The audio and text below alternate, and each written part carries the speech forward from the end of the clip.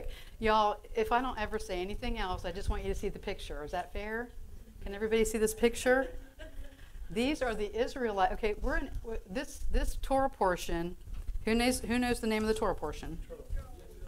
That's right. This is where Moses meets his father-in-law Yitro in Hebrew. And in chapter 19, we're going to see that the Israelites are brought, by, Moses brings the Israelites to the base of Mount Sinai. They're all camping, and Moses is going to go up on that mountain, y'all. I mean, look how huge and majestic that is. It must have taken him days just to walk to it, let alone start climbing it, right? I mean, we read things in the Bible and we think, oh, it happened in five, ten minutes, maybe an hour. No, there's a lot more time that passes. But these people are camping in the wilderness for the first time because remember, they've been in Egypt for about 430 years. You know, so they were probably not used to this at all. So now they're in caravans and they've got to put up these fabric tents and they've got all these animals with them. They're trying to figure out how do we live with our families in tents and the animals outside the tents. And I'm sure all that's getting really messy and mixing up. But anyhow, we've got the Israelites here at the base of the mountain. And that mountain eventually is going to start smoking and burn like a furnace. And this is going to be the presence of God. So this is like actually my favorite Torah portion. I don't even have time to talk about it like I wanted to, but that's okay because, who I feel like I've been drinking something. I don't know. I just feel so calm and peaceful with the Lord's presence. It's it's the Holy Spirit fruit punch or something. So I love it. Uh, and I'm, everybody, uh, have, have you all claimed your healing? Whatever you're dealing with, what, what, whatever you're dealing with, seriously, just claim it. I am healed in the name of Yeshua. My family members are healed in the name of Yeshua. My family members are being saved into the kingdom in the name of Yeshua.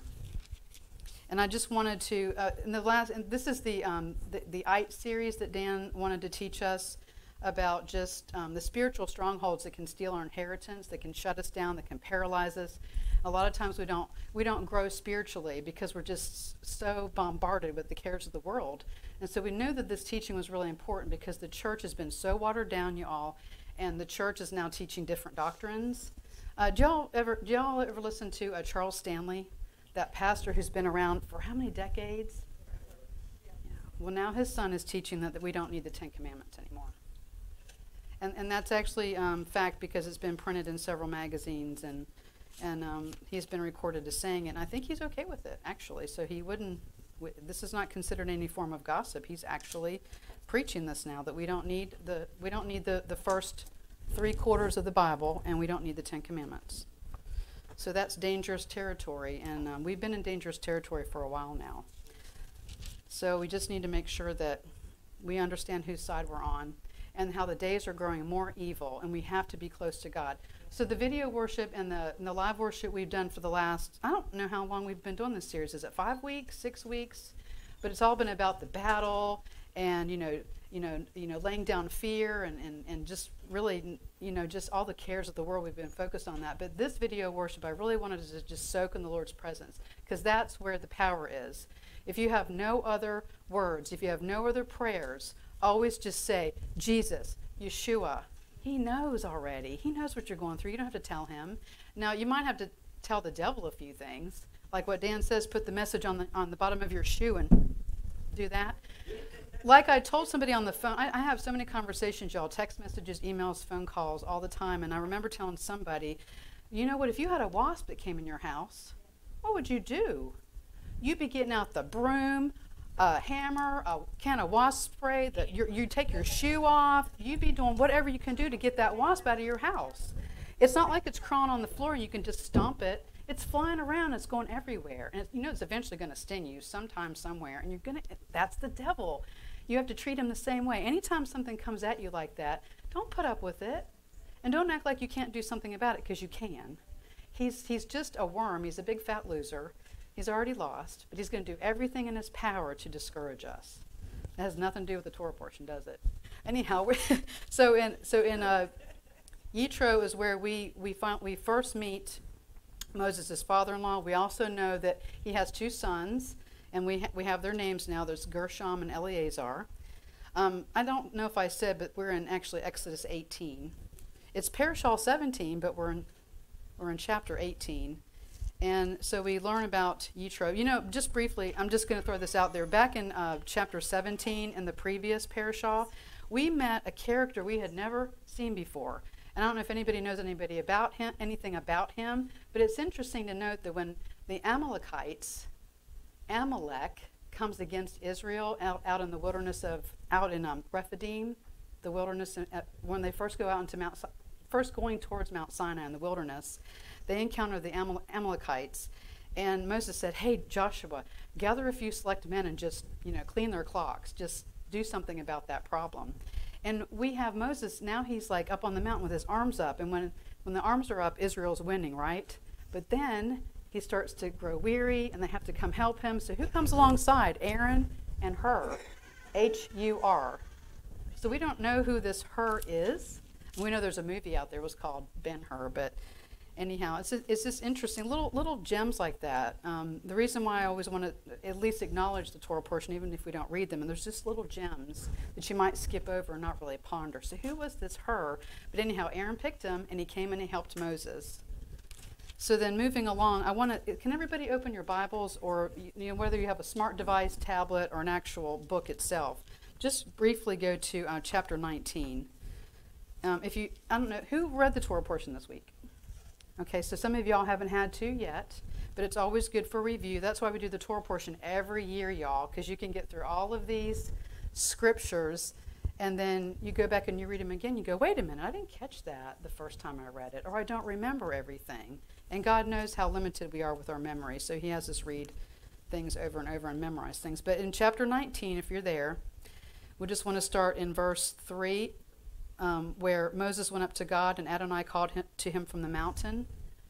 Here is what you are to say to the household of Jacob to tell the people of Israel You have seen what I did to the Egyptians, and how I carried you on eagle's wings and brought you to myself. Now, if you will pay careful attention to what I say and keep my covenant, then you will be my own treasure from among all the peoples.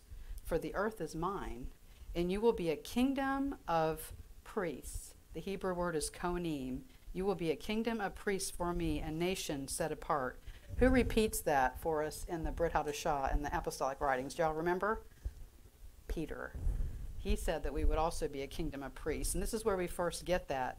When, Mo- when God told Moses to tell the people, You will be a kingdom of priests for me, a nation set apart. And these are the words you are to speak to the people of Israel. So he summons the leaders of the people and presented them with all these words which Adonai had ordered him to say. And all the people answered as one Everything Adonai has, says, has said, we will do. Who here is uh, familiar with a wedding ceremony where you exchange vows? I will do. I do. Things are presented. Um, I just, if y'all want to see, see this later, I brought a little example of what a wedding ketubah looks like.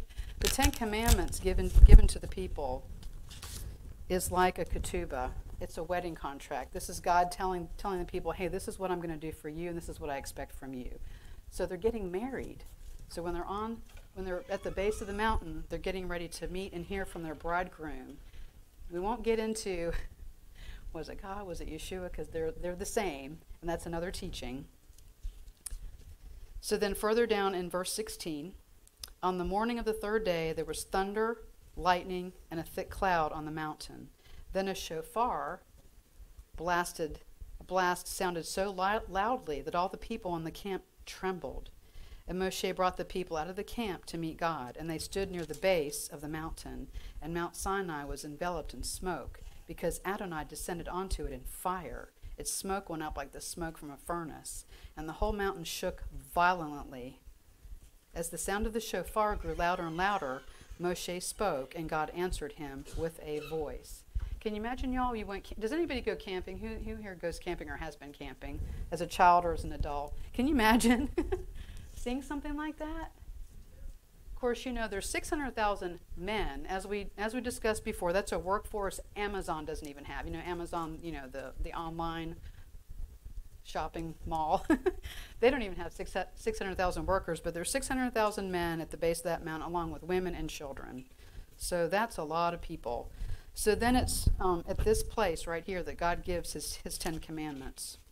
So I want to um, skip over to um, verse, I think it's either 15 or 18. It's at the very end of the Ten Commandments where God's speaking that. And it says, All the people experienced the thunder, the lightning, the sound of the shofar, and the mountain smoking. And when the people saw it, they trembled. Standing at a distance, they said to Moshe, You speak with us, and we will listen, but don't let God speak with us, or we will die. And Moshe answered the people, Don't be afraid, because God has come only to test you and make you fear him, so that you won't commit sins. I'm just going to briefly say that when we worry, when we operate in fear, when we operate in anything that's from the dark in the dark realm in the dark in the in the dark kingdom, that's a form of sin, you all, because it's not trusting God, it's not believing him. I'm talking to myself right now because I, I struggle with that all the time. God's been dealing with me lately because I'm in a situation in my place of employment where there's a lot of people that don't operate with integrity. At least I don't think they do. There's a lot of people I feel that don't really do the right thing, and I don't think it's that hard to do the right thing. So what do I end up doing? I end up grumbling in my mind, and I start judging people, and I'm critical. And the Lord has to remind me, you need to stop that. So for me right now, that is sin. So I need to fear God.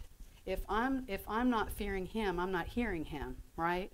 But if I'm listening to everything going on around me, I can judge it really quick and go, oh, this is just fill in the blanks.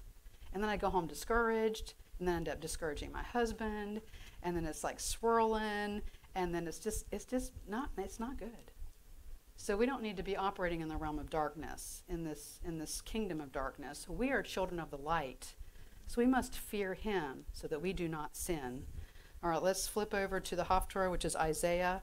I think there's two or three actually verses in Isaiah, but we're just going to skip to chapter 9, verses 5 through 6, so that we can really get a glimpse of God. God spoke through the prophet Isaiah and told, told him, starting in verse 5 For a child is born to us, and a son is given to us, and dominion will rest on his shoulders, and he will be given the name I'm going to say it in the Hebrew so you can see it in the English in your translations. Pele Yoetz El Gibor, Wonderful Counselor, Mighty God. Aviad Sar Shalom, Eternal Father and Prince of Peace.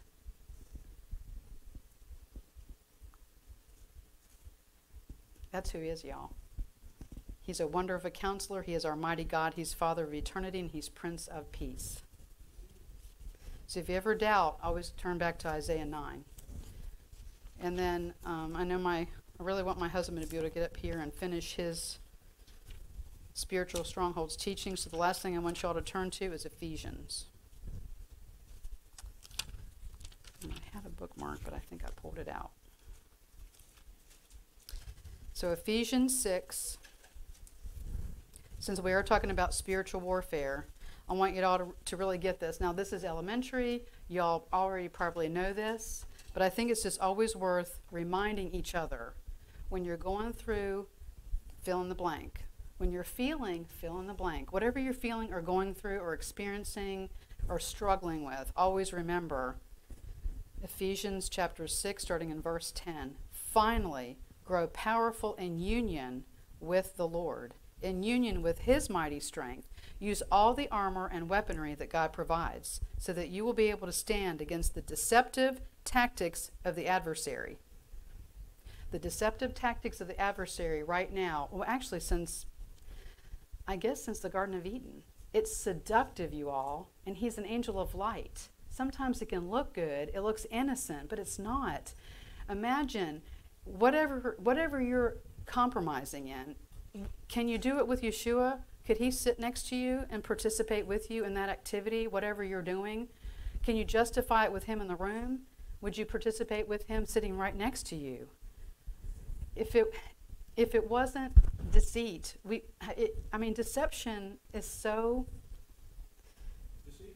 It's so deceiving. I mean there's no other word for it. I mean any of us can be deceived. Any of us. We're not above that. And the enemy the adversary, Satan, whatever you want to call him, he knows the scripture better than a lot of us do. He doesn't probably have to read it over and over again like I do every year. He remembers it. He's the one that tempted Yeshua in the wilderness for 40 days. So he knows it. So we have to be very, very careful. I mean, if you're reading a book, if you're going to a movie, if you're watching something on TV, if you're going to a certain part, what, whatever you're doing in the world, there's a lot of stuff in the world that's enticing and we can justify it, but just weigh it out, y'all. Just weigh it out. So, the deceptive tactics of the adversary. For we are not struggling against human beings, but against, okay, y'all, this is for real, right? There are things that we're battling against, and here it is. They're rulers and authorities and cosmic powers governing this darkness against the spiritual forces of evil in the heavenly realm. And guess what? They don't have to sleep like we do, they're always awake. Little stinkers. Little rascals are always, yeah, the wasp, the wasp can be in your house before you know it. How about scorpions? Y'all ever get scorpions in your house? They can just show up out of the blue and you're like, where did you come from? You know? I don't even know if scorpions and wasps have to sleep, do they? They have a short life, but. So then, uh, what does Paul continue to tell us? So take up every piece of war equipment God provides, so that when the evil day comes, you will be able to resist. And when the battle is won, you will still be standing. Therefore, stand. And here's our armor, you all. Make sure you have this on every single day. Have the belt of truth buckled around your waist put on the breastplate for righteousness. I mean, put on a right, put on righteousness for a breastplate, and that actually comes from Messiah Yeshua. He's our righteousness. And wear on your feet the readiness that comes from the good news of shalom. Always carry the shield of trust, with which you will be able to extinguish all the flaming arrows of the evil one. I, I literally, when I put on my armor, I like, I like act it out. I'm like, Lord, I'm putting on my shield of faith, and it's all the way around me, 360 to make sure that there's no uh, weapons coming at me. I'm, I'm, in fact, you could think of it as a, as, as a body bubble if you like. So that shield of faith is going to extinguish all the flaming arrows of the evil one. And take the helmet of, helmet of salvation, the helmet of deliverance. And I like to say that guards and protects our mind, along with the sword of the Spirit, which is the word of the living God. As you pray all times, with all kinds of prayers and requests in the Spirit, vigilantly and persistently for all God's people. We pray for ourselves, we pray for others. Y'all, we've been getting a lot of prayer requests, whether via text, email, phone calls. Don't ever worry about that. Personally, I'm going to tell you, it feels overwhelming because everybody's going through something. And I'm like, oh my gosh, I don't, I don't know how to pray for this person. I don't have to know how to pray for you all. I just sit down and I say, Lord, so and so needs you and this is what's going on. I'm just going to bring it to you right now, Father, and ask that you help them. And then, as I'm listening, the Lord starts to give me the words to pray. And I don't have to feel overwhelmed. But when I'm praying for you all, then it helps me feel stronger in my own struggles and my own problems. So never feel share with each other. Don't worry about being transparent because we all struggle with something and nothing anyone has done is above anything or it should never be embarrassing. I know some people hold on to, to secrets because they're like, oh, I'm the only person in the whole world that's ever done this. Really? You're not that special and you didn't create sin. you know, you just you just end up operating it in it as a, sometimes we're just an innocent victim. Things just happen. But anyhow, just wanted to encourage you with uh, some things that th- these are just the gems that I found in the Torah portion. Was Ephesians part of the? I know Ephesians was not, but I did want to encourage you since Moreh Dan, Moreh is Hebrew for teacher, he's teaching us on the spiritual battle. So, anyhow, thank you so much, y'all. I love every single one of you, and I'm so glad that you're here because it's encouraging to me and Dan when we see you every week. So, Shabbat Shalom. Okay. So, Carol just talked about this week's Torah portion. I, I promised y'all I would give you a fudge factor for the week ahead. Next week is Mishpatim. Who knows what Mishpatim means?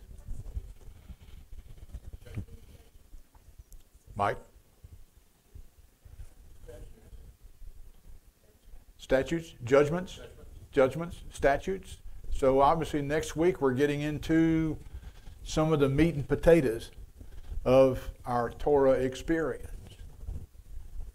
And it's in Exodus 21 1 to 24 18, and then Jeremiah 34 8 to 22.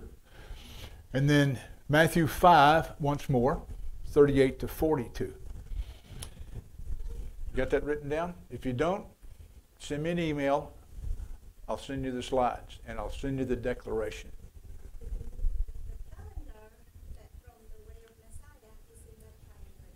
If we'll just get the calendar put together, you're right, it'll be in that calendar too. Oh, you, oh, and that, yeah, that's right. That's right, the calendar. I, see, I forget about that. The calendar. Oh, by the way, Robert, you haven't told us if you want a calendar yet or not. Robert, sorry. Robert and Carla McLaughlin are our Irish brothers and sisters that are with us regularly, like Irish, as in across the big pond, joining us from Ireland. A Yeah. few months ago, we purchased the uh, calendar, Uh huh. the Way of Messiah calendar from uh, uh, Fresh uh, Fresh Fruit. First, Yeah, Fruits- first fruits. Yeah. First Fruits of Zion, and uh, all the Torah portions are in there, and also the calendar how it's uh, like right now we are on the twentieth of Shevat. Mm-hmm. Okay. The seven ites. This was supposed to be like a video, but I couldn't figure that out. So just pretend that this is moving and doing something. If you want to know what it's supposed to do, go back and look at the edited version of last week's, and you'll see the opening video. That's what this is supposed to be doing. Just kind of let your imagination roll for a second, okay? So, who are the Sevenites? We've been talking about this. Our baseline, folks, y'all are going to, you're visitors, but you get to, this is your chance to, to catch up a little bit. We have a baseline that we've all been talking from as we've studied this series, right? God's promises are trustworthy, right? This means yes, this means no. His promises are trustworthy. We should strive to live according to kingdom principles, always. If I get hot, will you turn me down? The ites, that's who we're talking about, they stood in ancient Israel's way, and they stand in our way today. Nothing has changed. There's nothing, Solomon said, there's nothing new under the sun. If it was a problem for them then, it's a problem for us now, but it's it's different because we can't pull our well, we, Carol just talked about it. We can pull our sword out and fight them, but it's not a physical sword. It's a stronger sword than that because it's the Word of God. So we want Adonai to reveal those influences in our lives, even though it might be tough to handle and to dig out because it requires us to get under the surface and really figure out who we are, who we might. That part Carol was talking about, where we do those things that we don't like very much, and we we'd rather, Deb, I'd rather pretend that I didn't do those things. But if God's going to reveal to me what I need to change, I need to acknowledge that I may do those things in order to pull them up and look at them and go, I got to get rid of that. So it's a, this is not, this is not a baby food series. This is a series that requires us to do something. It requires us to shema, which is to hear and do, not just listen. We are children of Abraham by faith. Paul told us this. And if we are children of Abraham by faith, then we are heirs according to the promise. All of those promises that Ismail mentioned when he was praying over the children, being the head not the tail, above and not beneath, first, not the last, all those things belong to us. But if, as Carol was just saying, but if you let the devil fool you into thinking that they're not yours, you will not walk in those things. Am I saying it's your fault? Yep. What more could the Prince of Peace have done? He died for us. He rose from the tomb. He lives today. What more could he have done? And that in his Matthew discourse at the end, what did he say? He said, "You go." He didn't say he was going to go. He told us to go. Well, we're supposed to go in the power and the authority that he has given us. But if we allow the devil to tell us, you're going to see it in a minute. If we allow the devil to tell us that we can't walk in that power, then we won't walk in that power. You are what you believe you are. Who's holding one of these? I don't care if it's electronic or what. Hold it up for a second. Repeat after me. This is the Word of God. I am what it says I am. I can do what it says I can do. In the name of Yeshua. So if the devil starts trying to tell you you ain't all that in a bag of chips, the king of the universe died for you. Oh, yes, you are. All that in a bag of chips. So just show him the Word of God. Tell him to take a hike. Okay, all right. The abundant life is ours. If it isn't, Yeshua was a liar. It's real simple. Y'all will find that I throw curveballs out now and then because I'm just simple enough to believe that if the Word of God says something, it's true. So when Yeshua said, the devil comes to kill, steal, and destroy, but I have come that you might have life and have that more abundantly. Either that's true, or we should just go to house. Because none of this matters. But I know, Ismael, that's true. So the abundant life is ours, and we should be walking in it. We are to be more than conquerors. Fabian and I were talking earlier. What we need and what we pray for is what we heard in this worship video that the fire of God would fall on this community. And if you have never experienced the rain of the Holy Spirit entering the atmosphere, you will never be the same again. And then there won't be any doubt who you are in God's army. All right, here we go. Our cornerstone scriptures, Deuteronomy 7, it's 1 through 6. We've, of course, we've been through this. God shall deliver them before you. What did we learn that the word deliver in Hebrew actually means? Reveal. So it's not like we sit back, God kicks their butt, and we, we reap the harvest. Nope. He's going to reveal them to us, and then He tells us to go and deal with them. I like that because I'm just an old Texan. So when I talk about dealing with something, like I said before, if you if you go to messing with that one, I'm you're going I'm going to deal with you. Now I don't have to fill in those blanks. Every man in this house knows exactly what that means when I say I'm going to deal with you. It means one way or another we're going to throw down. And when it's over, I'm standing up, one way or another we should be the same way when we deal with the ites. God reveals them to us. Yeshua died so that we can have the authority necessary to deal with them. And if we don't deal with them, it's not His fault. He has given us everything. Peter says, He has given us everything that pertains to life and godliness. Well, that either means everything or it don't. And if he didn't give us everything, then he didn't give us enough. Once again, Word of God says he gave us everything. There you go, Jamie. Let's just say all. You know what the Hebrew word for all means? All. So does the Greek word. So all means all. That's about all it can mean, all right? All. He gave us all things that pertain to life and godliness. So we dealt with the Perizzites, we dealt with the Hittites. Who remembers who the Perizzites were? What was some what was a trait of the Perizzites? Who remembers? Remember they had the villager mindset. They were they were yeah, they were stagnant. They just they, they felt like I can't go any further.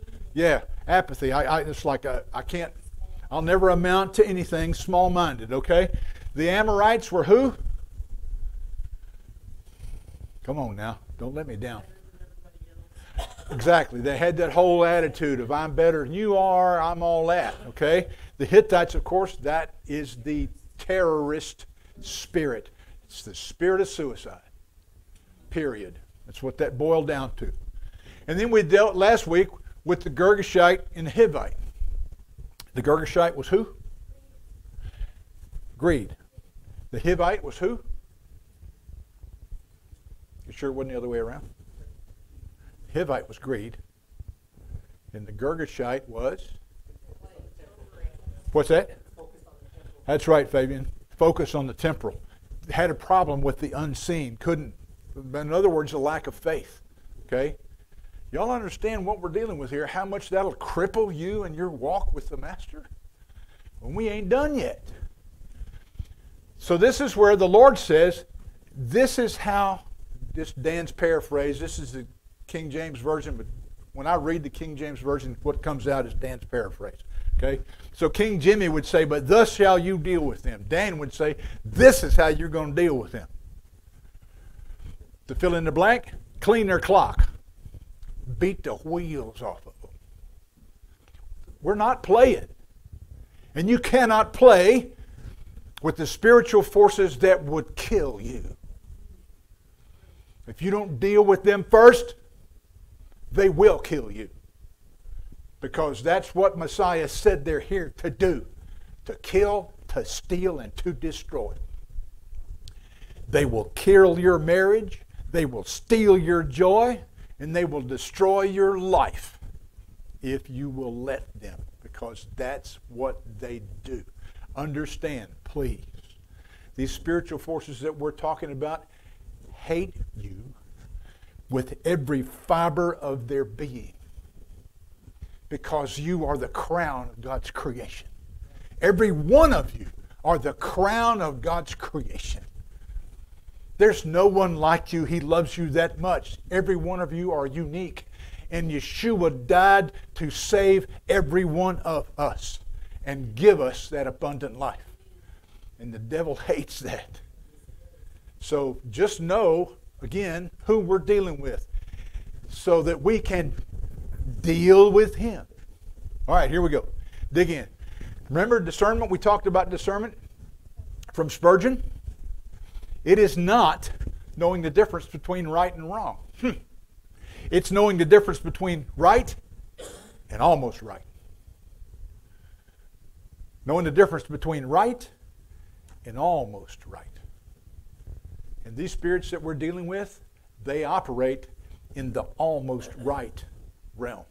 And Carol was saying, they're very subtle, they're deceptive. Their whole, their whole game is to deceive you.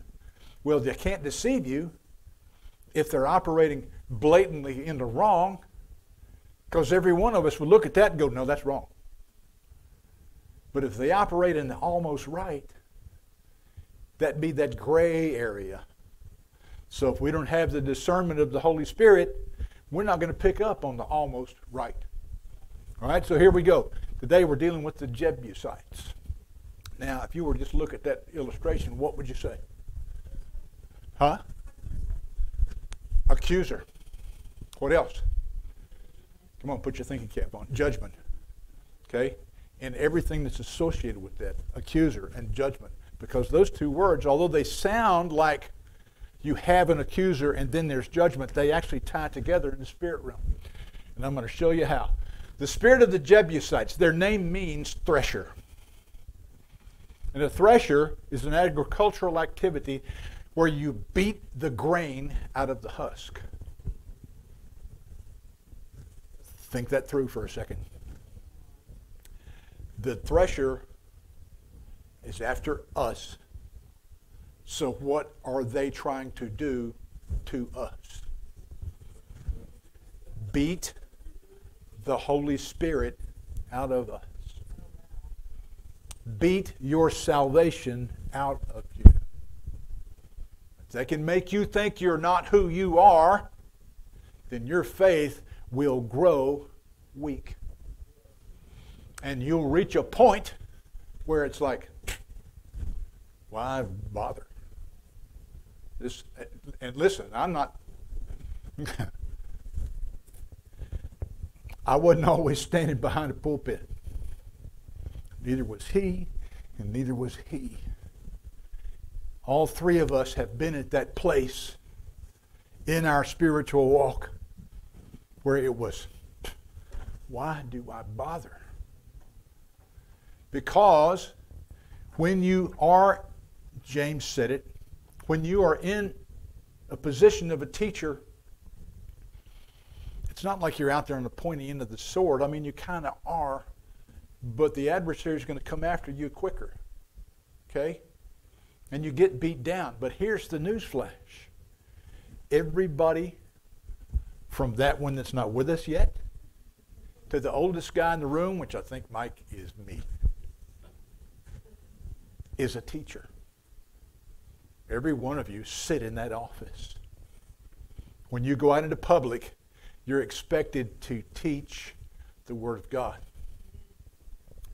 Augustine, some, way, some pronounce him Augustine, St. Augustine, St. Augustine, said that we are to preach the gospel 24 hours a day. And when necessary, Wendy, we should use words. So you're a teacher all the time. You live the gospel. In our case, we live the gospel and we also live the Torah observant life, which makes us, Ivan, just a little bit weirder than other folks, okay? because people don't understand that. All right, so let me get going. They are descendants of Ham and Canaan. That's been a theme through the whole thing. Every spirit we've studied is a descendant of Ham and Canaan, somehow or another.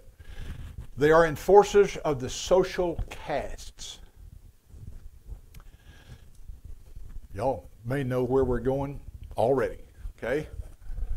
Their name comes from a root that means to tread. They're the threshers. They tread on people. They're tr- that means trodden down or polluted. So not only are they threshers trying to beat our faith out of us, they are polluters of the faith that we have. Remember the almost right? If you take crystal clear water and you put just a little bit of dirt in it, it may look pure, but it's not quite pure. You with me? So at some point, that clear water, if you drink enough of it, it'll start to have an impact on your body itself. If they can pollute your faith just a little bit, then at some point, John's going to go, this whole faith thing, this is just a joke. Because his faith got polluted somewhere back, just a little bit. But that causes doubt, causes us to give second thoughts to what we believe and who we are. The Jebusite spirit treads or stomps on other people.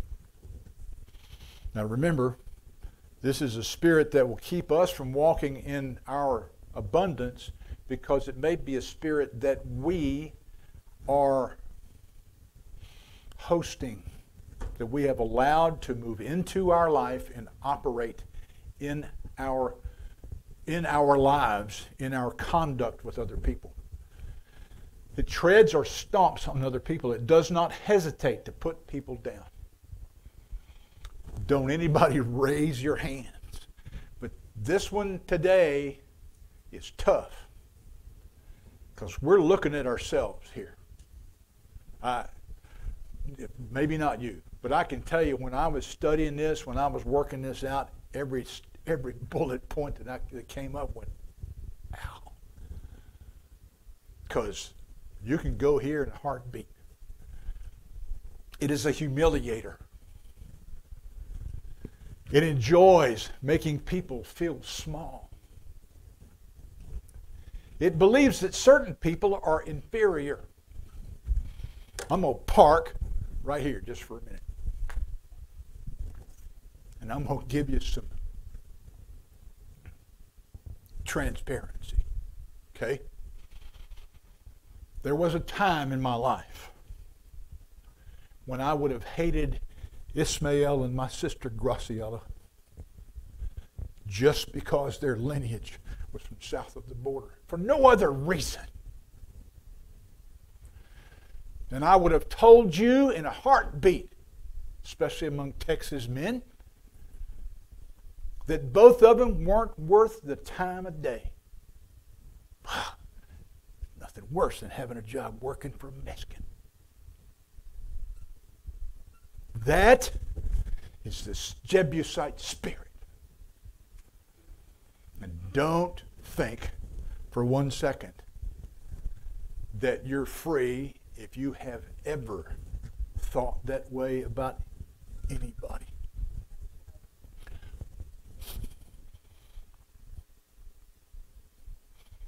Forgive me. It is the spirit of prejudice and racism. It is the spirit of prejudice and racism. The root of that racism is perverted judgment. I would have judged them without ever knowing them. That's perverted judgment. And that breeds racism. And I don't care who you are, I know what the, what the current environment is, but let's just speak truth and nothing else. That'd be okay with everybody.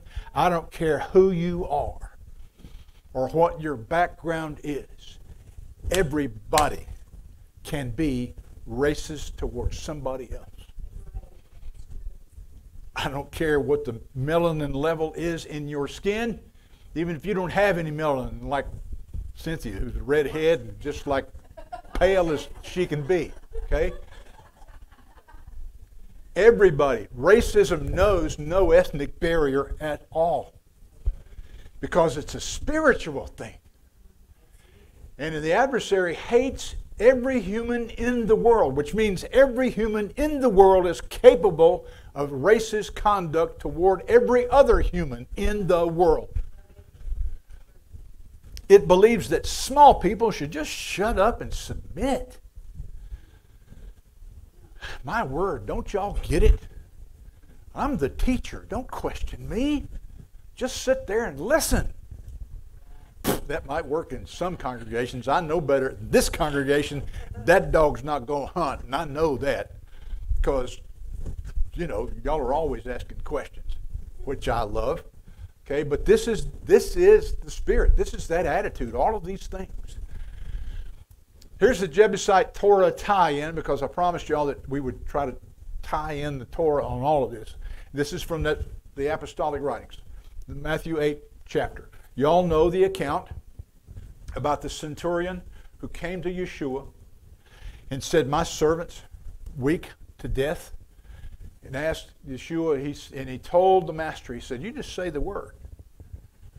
And Yeshua said, I'll come and heal him. And, he, and then this guy says, Lord, I'm not worthy that you should come in under my roof. Just say the word, and my slave will be healed. And of course, Yeshua said later, I haven't seen this kind of faith in all of Israel. Here's the point this individual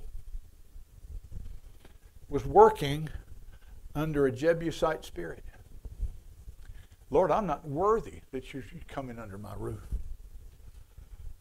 Who told him that? Now, I get the idea that he's talking to the Master, and that all of us, when speaking to the Lord, we are unworthy to even be in his presence. I mean, I, I get that. I understand that. But here's that almost right thing, okay? He's right in the fact that he's dealing with the king of the universe, and so there is a level of unworthiness that is true. The point is, is that when we talk like this, as followers of Yeshua, we're dealing with the Jebusite spirit. If I ever let the statement come out of my mouth, I'm just, Robin, I'm just unworthy. I'm just, really? the king of the universe told me that I'm worth everything he had to offer. So why in the world would I ever say that I was unworthy about anything? Now, there's a difference between that and arrogance. And we studied the arrogant spirit. Where's my assistant teacher? She's scooted, okay? We studied the arrogant spirit. So all of these ites work in tandem. So I can I can move from being truly biblically humble, loving my brother more than myself, considering John and Diane's problems more important than my own problems. That's biblical humility. But when I reach that point of, well, you know, I know, I just want to be humble about this, that's false humility, and that's a Jebusite spirit. Why would you even say that? if you're humble, just be humble. You don't need to broadcast that. Just be humble. You don't need to say you're humble because the minute you say you're humble, you're lying. Otherwise, why would you say it? I don't need you to pronounce that. I'll just operate and watch the way that you the way that you live your life. The way Mike lives his life, I can I can testify because of interactions that we've had. That's a humble man. He doesn't have to put a sign up, walk around with a sign all the time. Okay? So that's the Torah tie-in. Position with the Jebusite spirit, position is paramount. There's nothing more important than their position. They're focused on position. It's all about, look, it's all about their perceived importance. Remember the almost right. It's not about their actual importance. It's about their perceived importance. If if Wendy is the CEO of a corporation, well then she already has a position of importance. But you know that there are CEOs of corporations who don't think that people perceive them as being important enough. Now, see, if my sister Wendy was in that situation, she'd still just be Wendy, just operating in that office that she's operating in. But if she was operating under the Jebusite spirit, she might be a CEO, but want that special parking place. Don't you park your car because that's my parking. That's a perceived importance. One down equals one up. Here's your math lesson for today. If I can put you down, I can move up. That is the essence of the Jebusite spirit. If I can put you down, then I can move up. Because it's all about perceived importance. I want you to see me as being important. And if Mike gets in my way, then that means I'm going to have to move Mike out of my way. That is almost right. Because you're really not moving out. You're staying Wait. Hold on, Graciela, hold on. Anybody needs to speak, always hit the microphone. Oh, the microphone. So that is almost right. Okay. Because you're really not moving up. You're staying in place. That is correct. I, I, you may perceive that I'm moving down, but you're not moving anywhere. That is correct. That's exactly correct. You, yeah, you, but it, once again, it's all perception. In my mind, I think that I'll make myself more important by putting somebody else down. Because the Jebusite spirit's all about my perceived position of importance. Remember, Wendy is the CEO. Doesn't matter if she is the CEO. If she doesn't perceive herself as being important enough, then she can sit in the big office upstairs with all the windows in it, but if she doesn't think she's important enough, she's going to start making sure people start acting her, uh, acting toward her, that will feed that perceived importance. You, you with me? You understand what I'm saying here? Okay. Keeping others down can be really, really subtle. Norris, I don't ever do that. Did you see what Mike Murphy was wearing to congregation today? What have I what have I just done?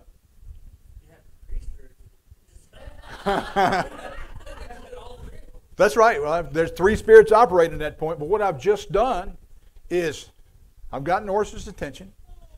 Norris trusts me as the Moreh in the community.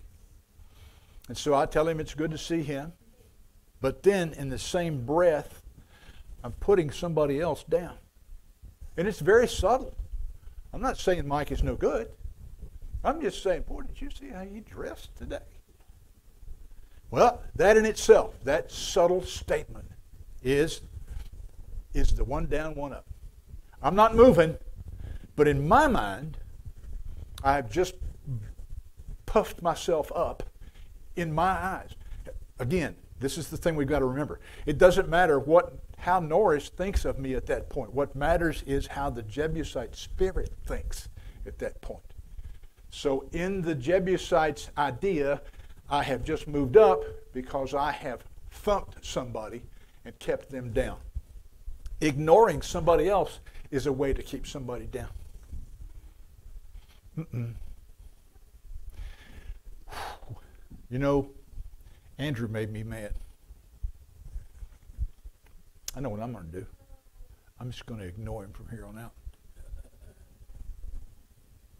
Well, who's that hurting?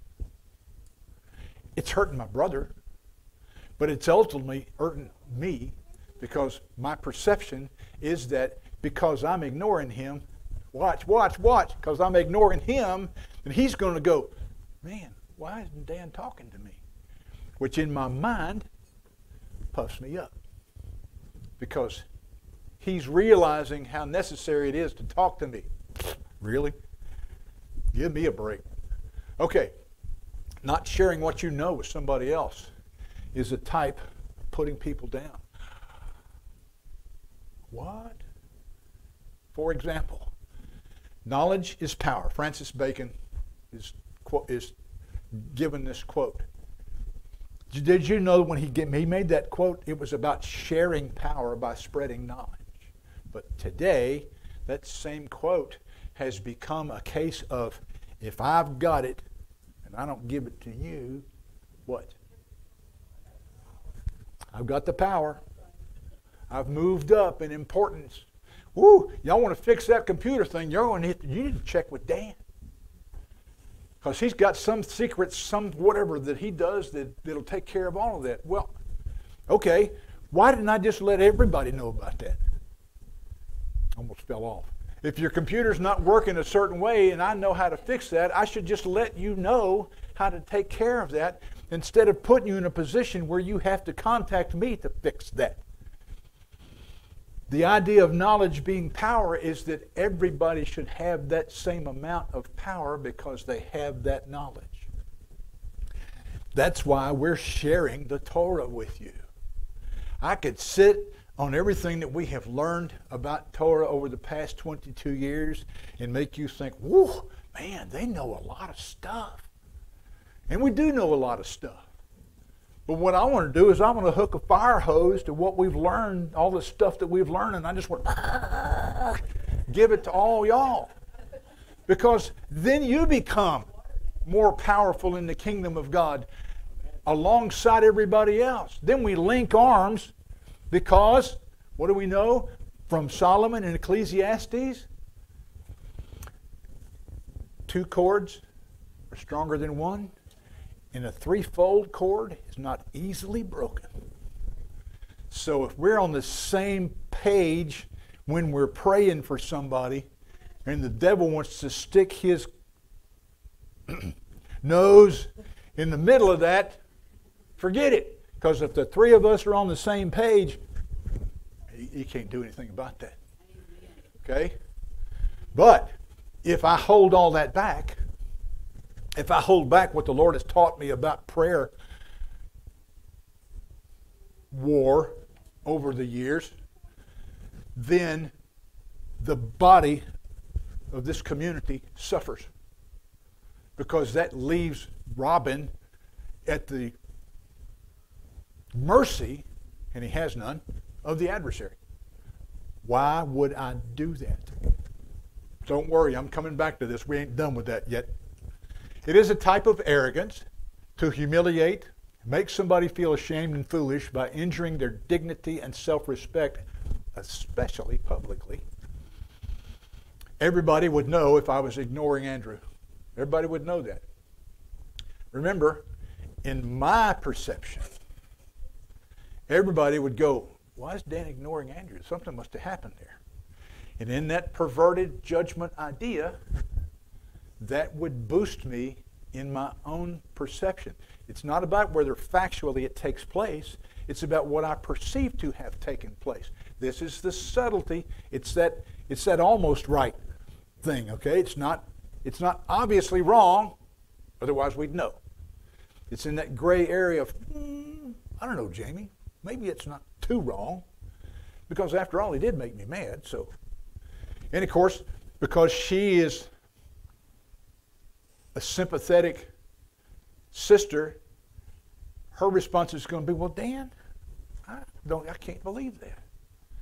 Because I just, I love you. And, and of course, and the whole time she's talking about that, my, my head's getting so big it won't even fit in the kippah anymore. I have to get a wash bucket and paint it for a kippah because my head's just getting bigger all the time. And before long, if I just keep crying a river to her, she'll go, Well, you should be mad at Andrew. Now I've got an ally. See how that works? It's the act of humbling some. Remember, we were talking earlier about humbling someone. Now, but hang on. Hang, just stay with me. The spirit of the Jebusite ties in with the Amorite spirit. Remember the Amorite? What does the Amorite do? Come on, come on, come on. Y'all nailed it earlier when we were doing the review. Arrogance. Okay? So it ties in with the Amorite spirit, the idea of arrogance, with one exception. The Amorite spirit's all about being subtle. The Amorite spirit does that, that gossip, that self exaltation, all that kind of stuff. Okay?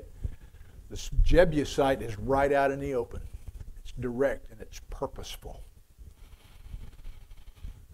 Again, there's no subtlety if I'm talking to Norris and I mention that outfit Mike's got on. There's nothing subtle about that. That's right out in the open.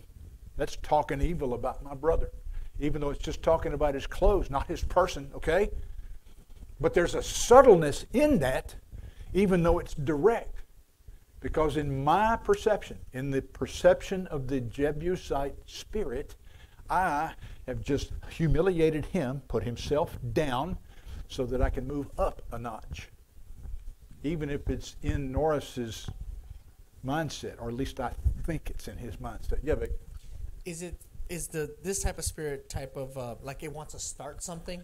yes, yes, it does want to start something because if I can start, you and usually that what it starts, it's not like a physical altercation. It's like I just want to start a, if I can start a rumor. Okay, ah, ah, you know, I don't even know why. I don't even know why D shows up.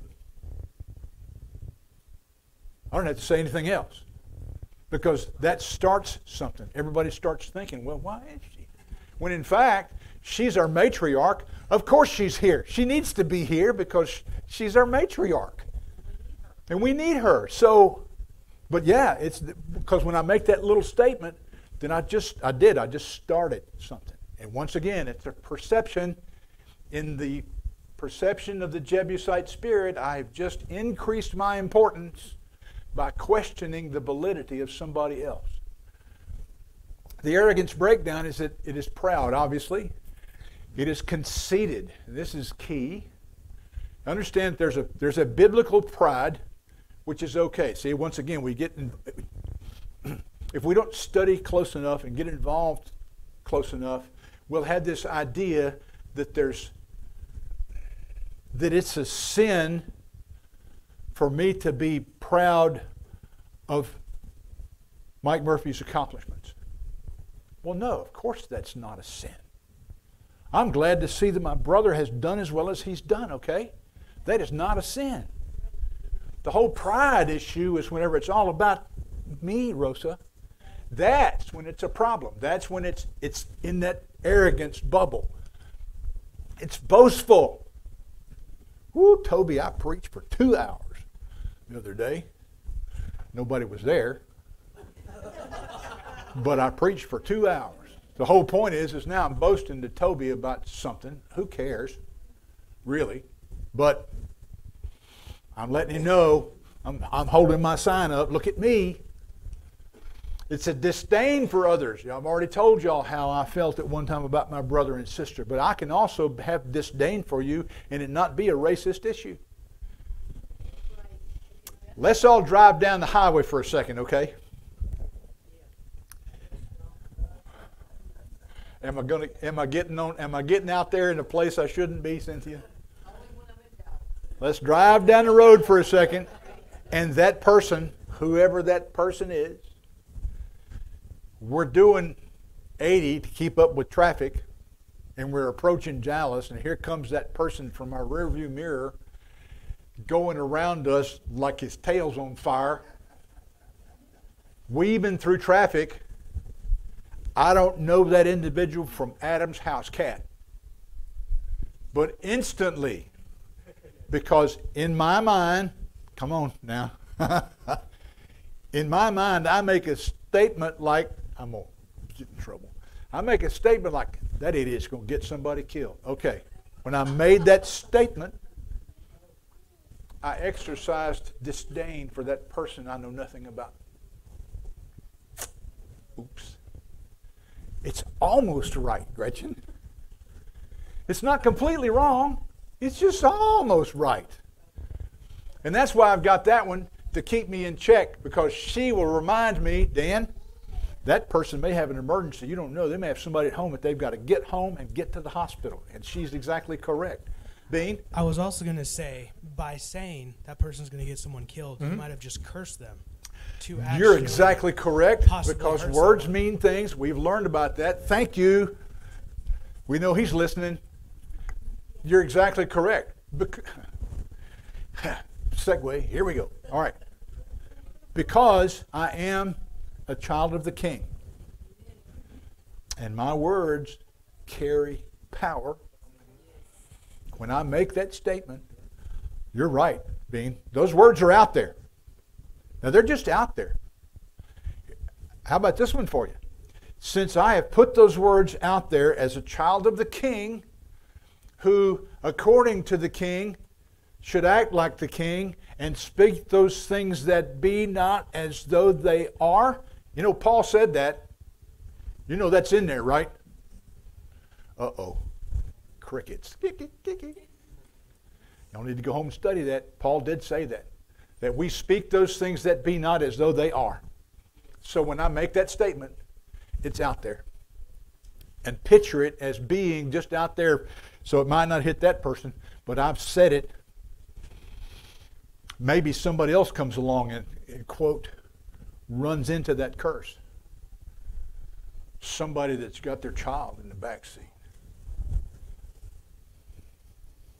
Because words have power. Pretension. Where are you going? Come back. Being being pretentious. Being I really am glad that y'all know me. And you should be glad too.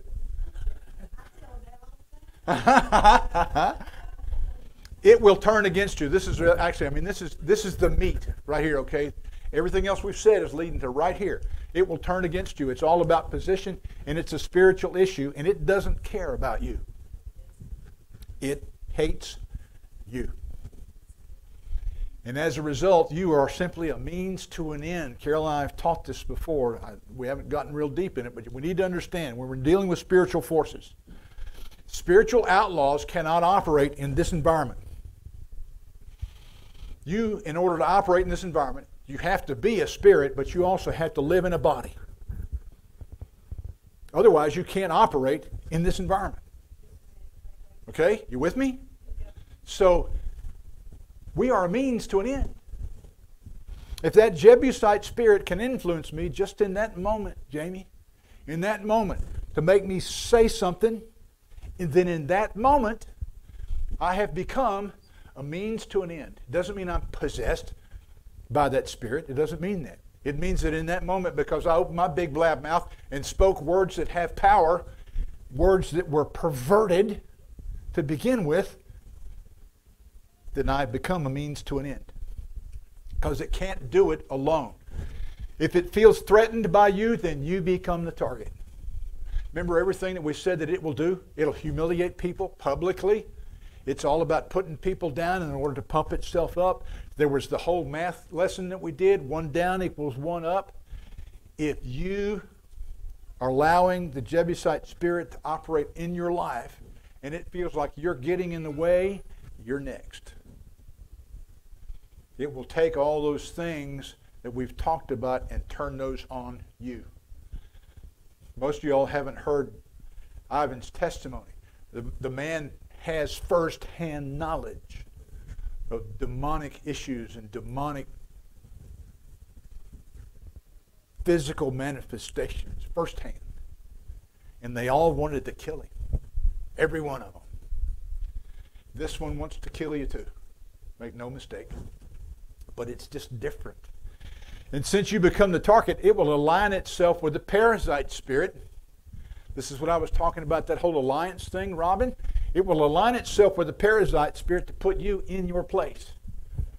Remember, the parasite spirit was that villager mindset, that whole uh, self deprecation. I can never get ahead. I'm always just going to be here. I can't do anything right. That whole trap. Yeah, I'm unworthy. That whole trap, okay? This spirit will align with that spirit in order to put you back where it thinks you're supposed to be. All of this is tied together. Adonai's thought on the proud, by the way, are pretty serious. Psalm 18, you, you, Adonai, you rescue the humble, but you, he will humiliate the proud. Yeeks. There's one to keep in mind right there. Because I don't want my king to feel like it's necessary for him to humiliate me. Because if you're humiliated by the king, you're, you're sure enough humiliated. You're at the bottom of the pile at that point. Paul dealt with the spirit of the Jebusites. Did you know that? Because it was alive and well at that point. Watch this. Subtle, remember? Almost right. Not wrong. Almost right. He's talking, of course, about Passover. People use this for the for communion, all that kind of stuff. That's a teaching for way down the road. I don't have time for it today. I just want you to focus on what is being said here, okay, and attitudes. Paul's taking these people to task. He says, When you eat, each one of you goes ahead, takes their own supper, and one is hungry and another one's drunk. Do you not have houses for eating and drinking? Or do you despise the church of God and humiliate those who do not have anything? That is the spirit of the Jebusites. That whole idea of humiliating somebody else because they don't have what you have. And you don't have to say a word to do that. You can think that, but I promise you, if you think it long enough, eventually your big blab mouth's going to say that. It's just going to happen.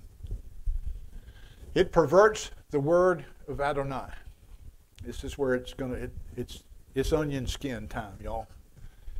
The Jebusite spirit perverts the word of Adonai. The traditions of the elders were a perversion of the words of Adonai. They thought that their traditions were as important as the Torah. The church today thinks that its traditions are as important as the Bible.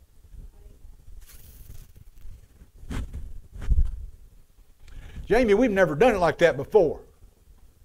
Well, you know, Mike, I know I read in the book of Acts, second chapter, all that stuff about that jibber jabber that went on, but you know, we don't believe that anymore. I've told you all the story about how I was with the Wesleyans and was going to be the pastor was and went to see the regional director and we were sitting down and he mentioned to me what what are your thoughts on the Holy Spirit? And like I've told you I should have just shut up and stuffed that donut in my mouth instead of saying anything. But what I said instead was, I believe in the baptism of the Holy Spirit, and I believe that we can speak in other tongues, and that we have a prayer language too. And he closed that little red book. Thank you, Dan, for shopping, stopping in. Because they didn't believe that. The traditions of the elders become more important than the Word of God itself. It perverts the Word of Adonai. The Inquisition was a perversion of the Word of God. Did you know that? Because in the Inquisition, if you disagreed with the church power, it brought your death. And you didn't just die, you died for a long time. For, for one reason because you dared to believe what the Word of God said and went counter to what the church powers said at the time. Like, for example, we are saved by grace through faith. That cost Martin Luther his life.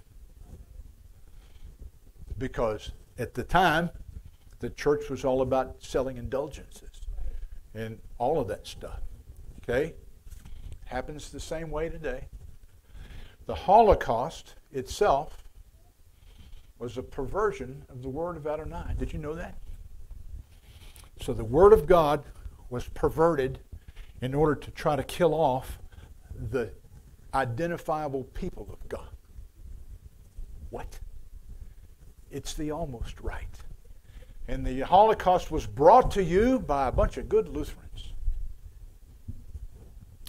Because Lutheranism was the denomin- it was the church, the de facto church in Germany for many years, especially 1939 to 1945. Hitler was a devout reader of Luther's texts. Huh. The slave trade was a perversion of the Word of God. Now, granted, slaves were taken in Muslim nations and in Africa, they were taken by other Africans and sold off. When the slave trade got into America, I don't care about any place else, just talking about us and how we dealt with it. In the South, oh, sure, preachers would preach to slaves as long as they were upstairs in the heat, but they still wouldn't treat them as equal men under God. Because their perversion was those are, ready? Those are the sons of Ham who were dark skinned. But we need to bring them into the kingdom of God, but they're still the sons of Ham, and we don't have we don't want to have anything to do with them. That was the slave trade. Thank God everybody wasn't like that. Every preacher wasn't like that. During our revolution, there was what they called the Black Robe Regiment, which was the the the pastors and the teachers who dared to preach the truth of God. Those people were still alive in the 1800s also, but the bottom line is we're looking at the Jebusite spirit and how it works. It perverts God's word. The clergy layman tension. This is another one of those put a star by this, or if you're taking notes, circle something. Okay, circles, squares, stars, arrows, all that. This one is definitely alive in the in the body of Messiah today the body of Messiah as a whole. Whether it's, and I'm going to just call some names, y'all just stay with me. Whether it's in the Catholic Church, where you must go to see the priest in order to make your confession. Why? Because they're clergy and you're not. Or in the Baptist Church, because I know them, I, can, I used to be, was, I was one of them, so I can talk about them. Where you can't be ordained unless you go to our seminary and get all of what we teach to be the case. And then, once you're done going through our deal, we'll find you worthy to become the clergy. And then you can join our club and we'll teach you the secret handshake and all that stuff. Because there's that split in many churches between the clergy, the teachers, and the laypersons or the rest of the congregation. Well, I, you know, I, I stand behind this desk every Shabbat in our case. And so, y'all, if y'all need to know anything about the Bible, you just ask me, and if I think it's important, I'll tell you. Mike? Was Yeshua talking about when he talked about the Laod, uh, Nicolaitans, Yes. conquerors of the people? Yes. Yeah, exactly. Thanks, Mike. Yeah, the whole the the the for the most part, the church system that we see today is the Nicolaitan system. It's a it's, a pyramid scheme for in in many cases. Now, I, y'all don't write me, don't send me no emails. I know. I, Carol said I got to stop saying write letters because nobody writes letters. What you want me to write a letter? So don't send me an email because I'm not saying that everybody that's involved in that is filled with the Jebusite spirit. I'm just telling you that this spirit operates in the in the body of Messiah, not just quote the church system, but within the body of Messiah. There are some messianic organizations that if you don't know somebody that knows somebody that's a friend with somebody else that they know, you can't get in the door. There's somebody that has attended here. I'm looking forward to him coming back. Heidi, we love you. No, Emily. Emily, we love you and we love Daniel. He was effectively blocked from going into a messianic synagogue because he has tattoos. Because you know, Torah says you can't have a tattoo. Well, it does. But what if, like Andrew, what if he got a tattoo before he knew the Lord? Why do we do that? God forgive all of us. The book of Isaiah deals with that. And that's what those people are talking about. Those, those shepherds who do not love the flock the way Messiah did. So this spirit's alive and well in, in not only the quote the church system, it's alive and well in the body of Messiah as a whole. Which is why we have to keep an eye out for it. So, now what? See, we did pretty good. Excellent. And y'all, I know they hate to see this slide come up because I'm about to meddle. Y'all don't raise your hands. Have you ever, are you judgmental at all about anything? And I'm not talking about judging sin. That's different. See, it's that almost right. We're told to judge sin. We're not told to condemn the sinner. We're told to judge the sin. If I'm doing something that's out of line, I fully expect my elders to come to me and say, Dan, you're out of line. That's a sin that you're doing right there. And call me back into line. Well, they're not judging me, they're judging the sin and they're correcting me. That's what we're supposed to do. There's a big difference between that and being judgmental. He's gone. I can't pick on him. So I'll come back to Mike Warren. Did you, did you see what Mike Warren was wearing this morning? Okay? Well, that's judgmental in its own right. What difference does it make? He's modest. He's covered. His face is cl- looks like it's clean. I'm, he probably brushed his teeth and washed behind his ears. Y'all come on in. Instead of, you know, we're three piece suit people here. Sorry. Have you demonstrated prejudice before, but have never dealt with it? See, this thing can harbor. It can just sit there, and you can think, "Well, I don't do that. I don't. I don't do that anymore." There's a difference between not doing that anymore and being free from it. Okay, you cannot do something, some habit that you had. You cannot do that, and it'll just wait because you're not free from it. Prejudice is the same way. Have you ever drawn a conclusion about somebody just because? You know, I don't like Robin. I don't know why. I just don't. What? First of all, that's my sister. Second, I don't have any there's no I don't have any evidence about that. Deb, she cut me off in traffic. I know she doesn't like me. No, you don't. No, you don't. That's another just because issue. That's actually a judgmental issue. I don't like that individual because.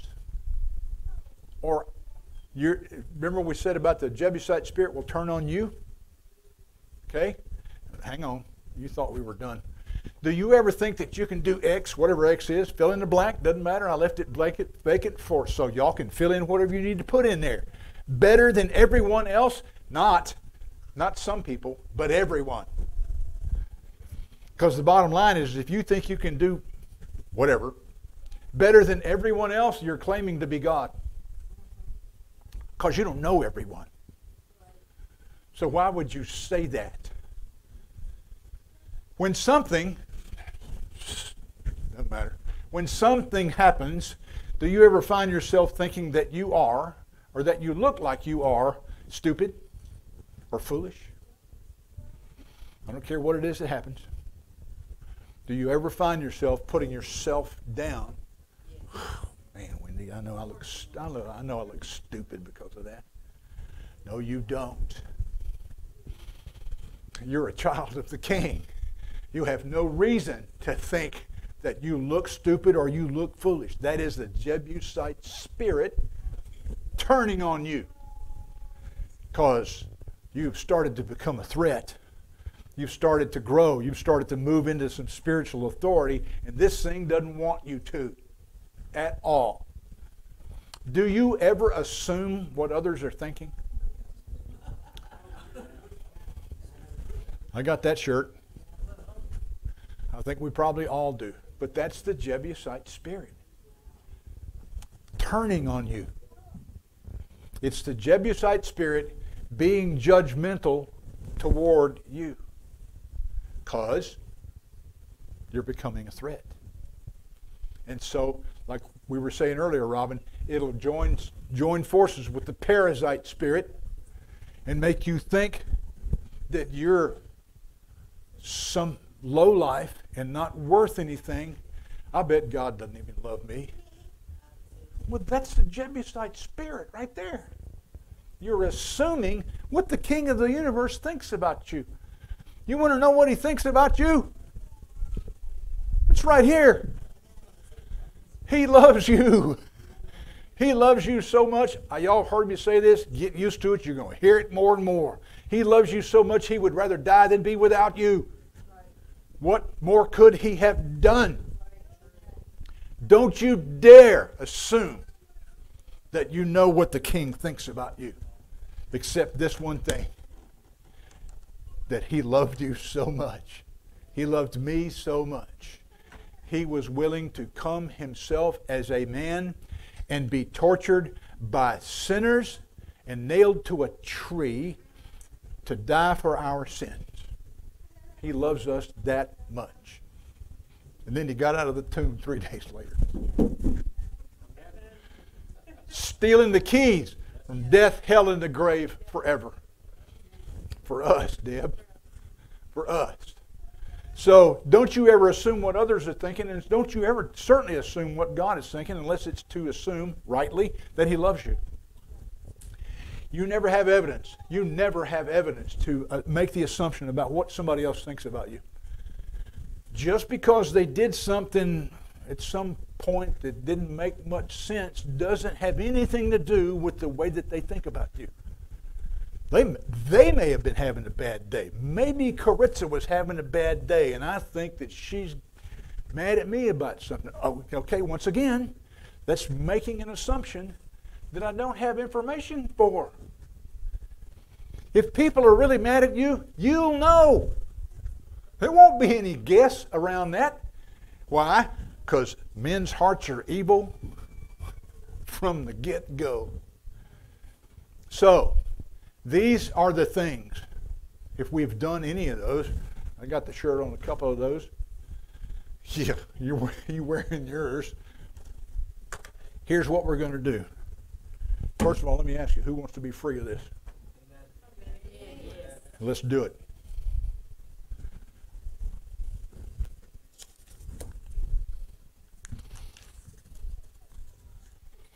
Deidre, I'm going to give you a pass, but he needs to stand up. Everybody else, stand up as we make this proclamation. I want you to declare your freedom. Diane, you get a pass. You can stay right there. John, you can just put your hands on her, put, put your hand on her shoulder while you're making this declaration, and you're just praying over her too. Mike, you got her. All right. Repeat after me. Abba, Abba. Strengthen, my resolve strengthen my resolve to examine myself. Give me the courage, and, the boldness to throw out the enemies, and reclaim my heritage. All right, here we go. I renounce and reject, the spirit of the Jebusites. Abba, I have sinned, by pronouncing judgment, on others without cause. I have drawn conclusions, about people, for no reason. Adonai, you have commanded me to love others the way you love me. In allowing the Jebusite spirit to influence me, I have failed to do that. Please forgive me.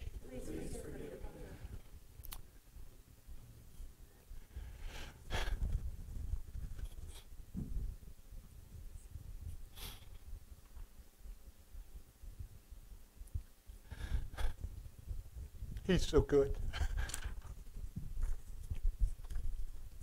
I'm serving notice today. To all the spirit realm that I'm choosing life thoughts and life words over words and thoughts of judgment. I renounce and reject any and all tendencies to think that I am better than anyone else. Holy Spirit, please reveal to me the foul and perverted working of the Jebusite spirit that has influenced my life. Through your power, I am determined to walk in true shalom with all mankind. I'm taking back what the devil has stolen in the name of Yeshua. Not just today, but every day. I declare my freedom from the arrogant spirit of the Jebusites now. Right now. Not tomorrow. Right now. In the name of Yeshua. Y'all give him praise in this house because he has given us the authority to be free. Amen. And if I can get my bride to join me up here after we have a word of prayer, we'll do the priestly blessing. Adonai, Avinu Malkeinu, our Father and our King, you're better to us than we deserve, and we know that. You have given us the authority to deal with the ites. Thank you. We bless you that the battle is yours. If we'll just stand still and see the salvation that you bring to us. We thank you for giving us the authority to use your name, Yeshua, to walk in that power that you gave us through the Holy Spirit. I thank you personally, Father, for this community, for everyone here and everyone that's on the live stream. Our brother Robert and Carla over in Ireland, and everybody between there and here, for their willingness to be involved in this, their willingness to declare their freedom. And Father, as the Moreh here, I ask you to manifest the freedom they have declared in their lives before this day is out, that they will know that they are free from this foul spirit. We thank you. We magnify you because you alone are worthy of our praise. Mi kamocha Adonai be'elim. Who is like you, O Lord, among the gods? There's none. For you are king forever. We bless you. We magnify you. We place these petitions before you in that precious, powerful name that is above every name. In the name of Yeshua, our Messiah. And everyone said, Amen. Amen. I had it on backwards. Superhero. Receive the blessing of Adonai. Yivarakaka Yahweh v'yishmerecha. Ye'er Yahweh panav alecha v'chunecha. Yisa Yahweh panav alecha v'yasem lecha. Shalom. Now may Yahweh bless you and keep you. May he make his face shine on you and be gracious to you. May he lift up his countenance upon you and give you his shalom, nothing missing, nothing broken, nothing out of place. In the name of Yeshua, our Messiah, Amen. Shabbat Shalom. I don't think it's Shavua Tov yet. Not yet. So y'all, thanks for coming. Make sure you turn around and wave at those folks that are on the live, On the live stream. stream. We appreciate all y'all. All right, so now our hospitality director will unveil the rest of the food that we're to participate in. So